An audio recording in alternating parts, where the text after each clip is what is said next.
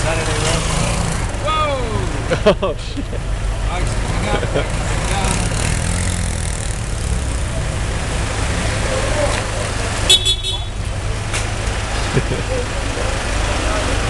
right,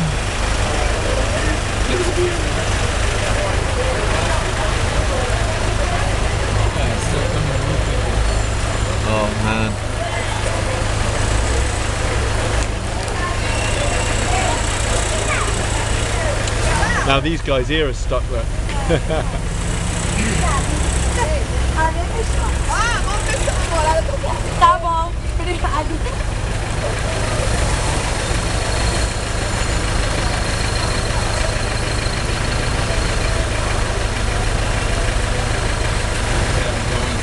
Yeah, go for it.